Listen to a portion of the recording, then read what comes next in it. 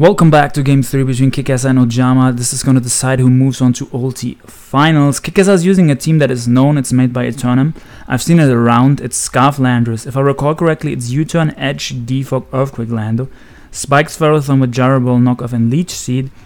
Rocks Diancie, then Quiver Dance, Roost, Flamethrower, Bug Buzz, Corona. I think it's Bug Z, but it might also be Leftovers. I don't remember 100%, but I think it's Bug Z, yeah. Then the Finny is Scald, Taunt, Nature's Madness, and Defog, and the Reuniclus Acid Armor, Recover, Calm Mind, Mono Psychic, or Psyshock. I don't remember. I don't remember which one of the two it is.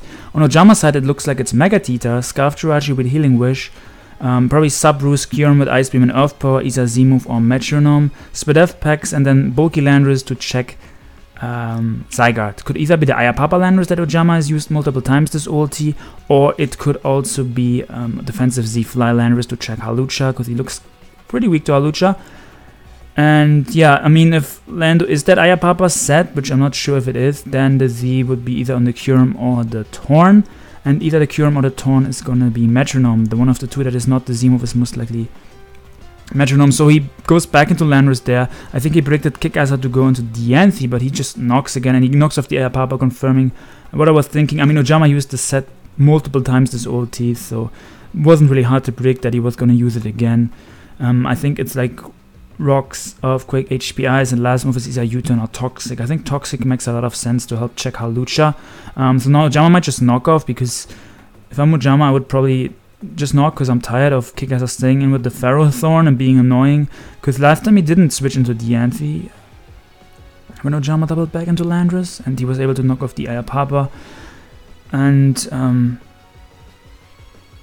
yeah, DD Megata actually looks like a threat in this match. As long as Tita is around, Reuniclus can never win for Kickasser. Even if it gets lower to the spikes, he still can Healing Wish it back with the Jirachi.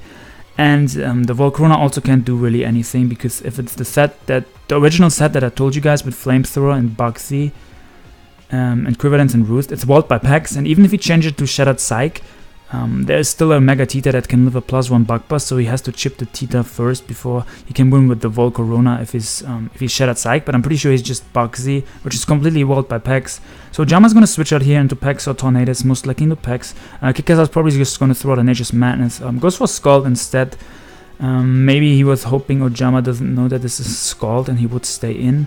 Ojama can go to T-Spike up here if he has that, exactly. And Kikasa didn't even taunt him, so now, if he doesn't defog and if he switches out to Finny, then he's gonna get Toxic the next time, or Poison, like, I don't know how to call it when it's one layer, but he's gonna get status on the Finny. Um, so Jama um, is gonna throw the Scald once, and then he's probably gonna pivot here into Tornadus, because Tornadus is not affected by the spikes and has Regenerator. So it's really pivot into Tornadus here. We're gonna see either Nature, Nature why can I not talk? We're gonna see either Nature's Madness or Scald.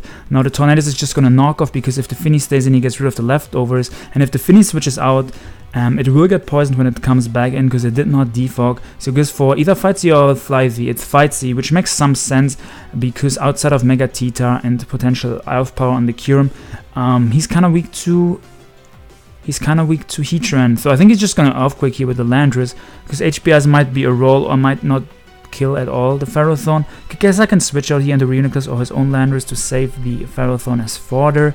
If he goes on Landorus on the Earthquake now, he's forced to U-turn out. I'm pretty sure this Landorus does not carry HP Ice. And, well, he could defog technically, but Ojama is going to click HP Ice here, definitely. Um, looking at Ojama's team that has HP Ice, I told you guys the set earlier, it's most likely just Rocks, Earthquake, HP Ice, and then either U-turn or Toxic. Toxic doesn't make sense because he's weak to Hawlucha, so he does just pivot into Reuniclus, which makes a lot of sense because it doesn't care about the Toxic spikes, it doesn't care about HPIs.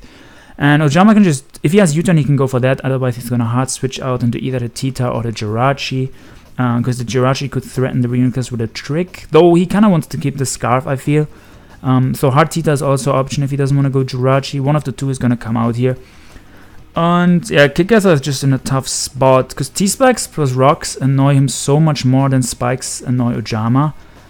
So, like, he kind of has to defog, I feel. But even if he defogs, um, yeah, yeah, actually, I think he should probably defog when, like, maybe he should have defogged with the Finny on the packs. But I get that he wants the spikes up. I completely get it. Because the spikes means Tita gets worn down from hazards. And if you can wear on the Tita, you can potentially win with the Reuniclus. Um, but yeah, he just U-turns. I think Kickasser was potentially fearing the trick there, so he switched out the Reuniclus. Ojama can bring out his own Landorus here. I'm not sure if he knows this team that Kickass is using, but this team was like used multiple times in like Smogon Tour and also some fun tours. I think in the fun tour that I'm hosting, this Eternal team was used in.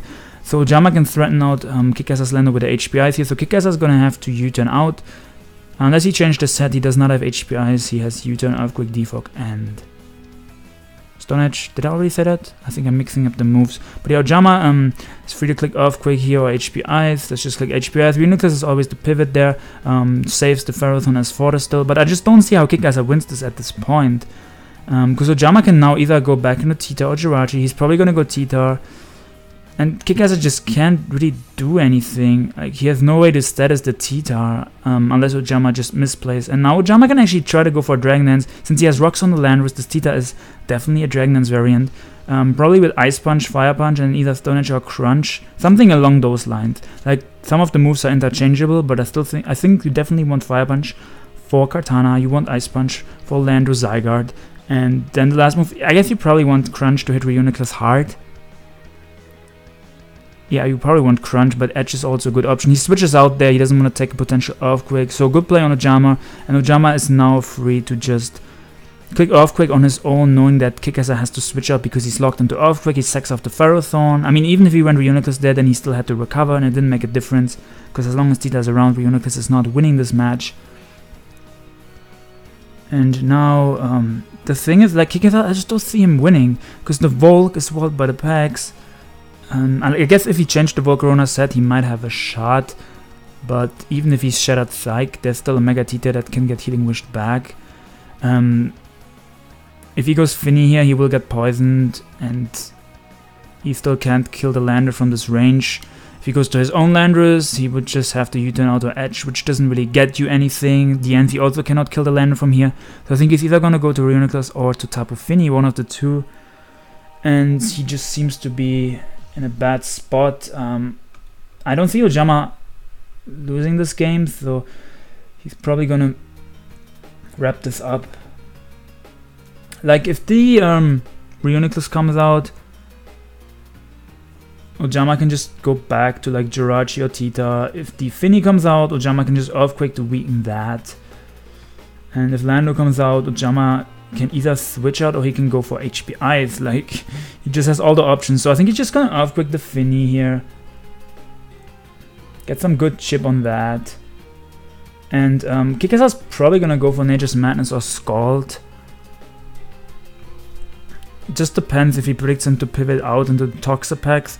Um, he probably wants to Nature's Madness, predicting him to pivot into the packs, but if he predicts Lando to stay, he can also Scald, but he does just Madness. I think predicting the packs to come out, or if Scald didn't kill from that range, which it probably didn't, then he just tried to Nature's Madness because it covered the packs and it brought the Landorus into Scald range. Um, but yeah, we see the Landorus is actually faster than the Tapu Fini, so Ojama probably has some speed investment on that since he has Iapapa Berry. Uh, even if, if, even if he's a speedier Lando, he can still check Zygarde quite well. So he got hard into Tyranitar on the Reuniclus and yeah, I think he can just attack this time. He can also Dragon Dance up. Um, honestly, doesn't matter too much. Um, but yeah, Kickasser is gonna have to switch out here, most likely to Tapu Fini. Well, yeah, Ojama is free to just go for Dragon Dance. I really don't see a downside. Um, even if Kickasser goes into Landorus, then Ojama, if he doesn't want to risk anything, he can still switch out to T-Tar. Uh, also, earlier when Kickasser went for the Earthquake on a Tita, he probably should have gone for U-turn, but Ojama just played that pretty well. Um, like, the Tita could have lived even the Earthquake, I'm pretty sure. I didn't run the calc, but I know Mega Tita is pretty bulky. So I could have lived that. But yeah, uh, Dragon Dance is kind of free for Ojama if he really wants to go for it. And like Kickasser is either gonna go hard Landorus or he's gonna sack off the Finny as he does just sack off the Finny. Do we see a DD? Yep. So he's gonna take some Sandstorm plus poison damage, leftovers get some health back. So now he's in range from Crunch or Ice Punch. Like I don't know if this has Crunch, but I assume it might have Crunch just because Reuniclus is like a common threat. And I think Crunch has like 24 PP, so even if Reuniclus has like Acid Armor, you get like multiple chances to crit through it, right? So just makes sense to me that try to PP Stodia with Reuniclus, because Reuniclus Acid Armor has a lot of PP if I'm not mistaken, and Common also. So Lando's gonna probably U-turn this time, because last time he Earthquake into the Lando. Ojama has no reason to stay in and risk anything though. So Ojama should just switch out into his own Landorus here. Um, there's like no reason to risk the Tita getting crit if it's not in range, or it might also be in range of Earthquake if it's not bulk invested Tita, which it might just be max attack. Um, so Jama is just gonna switch onto his own Landorus here. I think Kickasser is probably gonna U-turn out. There's the Landorus, we're gonna see U-turn most likely. Yep. Now the Yancy can come out. Or Reuniclus come back out, but Reuniclus just doesn't get him anything. If Volk comes out, he just gets super low and he's forced to roost and Ojama can then either just Earthquake or switch into Pax. He would probably just go Pax if the Volk would come out, but I think he's just gonna go the Diancie, right? And um, when he goes Diancie, Jama still has double checks for Diancie in Jirachi and in Pax, so he can then still switch out as there's the Diancie. So yeah, Jama can still switch out here into either the Pax or the Jirachi. I don't remember how healthy the Pax is. If it's low, then he doesn't want to go to it here, but Jirachi is still healthy. Um, Jirachi is at 65-ish after the hazards, I think. Um, so Kickasser could probably just get up the rocks, anticipating Ojama to switch, but I honestly just don't see Kickasser winning this. Unless Ojama is not healing with Jirachi, I guess then he might have a shot. Because uh, then the Tita gets super low from spikes and can potentially yeah you can potentially do it if Jirachi is not healing wish but it should be healing wish Jirachi that's like one of the only reasons why you use Scarf Jirachi because Scarf healing wish is just super solid like a healing wish that you pretty much get off guaranteed. They cannot really prevent you from getting it off. Just I just feel it has to be healing wish. You then Iron Head in the last move. Not sure if it's trick or coverage move. Probably coverage move honestly. Uh but yeah, looking at it, I think Jama looks kind of weak to stall, or am I missing something? Yeah, he does look kind of weak to stall, so maybe it's trick, but even that doesn't even help that much versus stall, because they will have multiple checks for Jirachi anyway. Uh, but yeah, Kickasser's probably just gonna go for Roxy, anticipating Ojama to pivot into Jirachi or Pax. I just don't remember how healthy the Pax is, that's the thing. I think it's at like around half-ish. Yeah, it's probably at around 50 after hazards, I just don't remember exactly. Um, so they're taking their time here, which is understandable because it's semifinals, game 3, winner of this moves on to finals. Finally makes a switch into Jirachi, as I assume you're just going to see the rock score from Kickasser exactly, because it was just pretty obvious that he was going to keep the Landorus as fodder. And Jirachi can just go for Scarf Iron Head here. Is going to switch out into either Reuniclus or Landorus, probably Landorus. Landorus is going to take rocks and I think Scarf Ironhead is probably a 2-hit KO on this, exactly. So he just Ironheads again here, pretty sure. Super free, confirming that he's Choice Scarf, but it was really obvious just looking at the team. And like we saw, Landorus was Iapapa, he didn't have another Scarf. I guess it could have technically been Scarf Kyurem, but Kyurem is usually um, the sub-boost of Power Ice Beam set with Metronome or Z-move, probably Metronome, because he had um, Z-move on the Tornadus. So Jirachi is going to switch out into the Pax here. Volcarona can probably go for Roost, like Rocks plus T-Spikes just keep this in check so well. And well, I guess he's only he's only hit by one layer of T-Spikes, so if Jama does not have haste on the packs for some reason, then the Volcarona can actually win this game by just quiver up to plus 6 and then spamming Bug Buzz to try and get a death drop or just do a lot of damage at plus 6. So if Ojama is not haste, I guess that's Kickasser's win con at this point, or that the Jirachi is not healing, which one of the two things. But I'm pretty sure that the Pex is Haze recover toxic spikes and scald. So there's just go Pax as Kickasser goes for a roost and the Pax is gonna go for recover here. And yeah, what can Kickasser even do, honestly? Unless he changed the set to Shattered Psyche, he cannot do much to the Pax at all. So equivalence is up as Ojama's gonna recover. And Ojama is now gonna click Haze if he has it, which he should have and he just flamethrowers trying to get a burn and does not get the burn. Um, even if he gets the burn, that would only cancel out the black sludge, so that wouldn't do too much. So this is just a game that Kickasser cannot win, because Pax has so many PP. He has 48 haste PP. He has 16 recover, I think 15 left, and he has also like 20 skull left, 22. And then also has 31 toxic spikes left. So even if he tries to PP stall, it absolutely does not work even like oh, Haze alone has 48 PP. this is not possible. And yeah, he's also forced to roost every few turns because he's taking chip from the Scald and from the uh, Toxic Spike. So eventually he will just have to switch out into Reuniclus. Staying in with Volcarona does not accomplish anything for Kickasser. Um, this is just a losing game for him, I'm pretty sure. I thought he's gonna roost here. Ojama is free to just click Scald again. Um, there's not much to narrate here. This is pretty obvious that he's gonna have to switch out the Volcarona eventually. He, okay, just T spikes, which is also a solid play. Just keeping the Scald PP. Mm -hmm. I mean, it doesn't really matter what Ojama does here. Uh, I really don't see him losing at this point unless he screws up really badly or his internet dies. Like, I don't see him losing, honestly. Just swirl of called into the Reuniclus and now Ojama is I mean he doesn't even have to switch out technically the packs. Uh, he can switch out into Jirachi yes or into Tita. Tita is really low so yeah if he switches it's probably into Jirachi. He doubles back into Volcarona anticipating the Jirachi. I think that Tita is at around 50 after hazards yeah. I mean Tita would have also been fine but yeah doubles into Volcarona anticipating Jirachi or Tita. It's just gonna he's gonna be forced to roost though so that did not accomplish anything.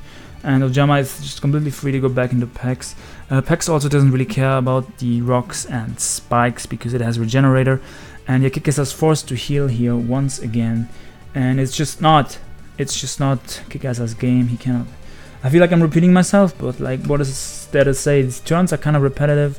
He can just keep scalding, and um, Roost will eventually run out, and there's no way for Kickasser to win as he does get crit, which speeds up the game. He said GG, so GG, so I think he's just gonna forfeit right here, because uh, obviously he did say that.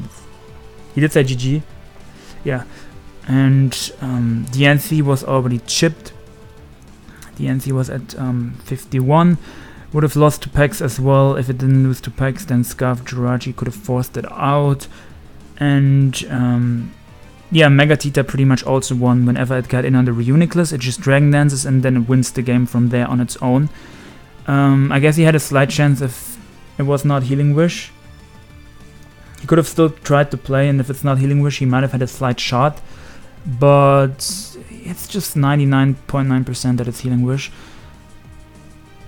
Mm -mm -mm. And I mean, I understand that he just forfeited there. It was pretty much over unless Ojama had a huge stroke or something. Congrats to Ojama. He has been playing pretty well in um, Snag and Old T. You guys can stay tuned for more Ojama games. Um, I recorded his run till finals. I recorded all of his games live. I think, yeah. Um, like I said in my last upload, my computer has not just been super slow. I mean, it's a laptop. It's like garbage. Getting a good computer in like five six months is what I'm trying to do. I'm just still saving money for that. So then you guys can expect um, the uploads faster. Just rendering takes so long with this garbage computer. And yeah. Smash the like button if you enjoyed. Congrats to Ojama and I see you guys with more content next days. Peace out friends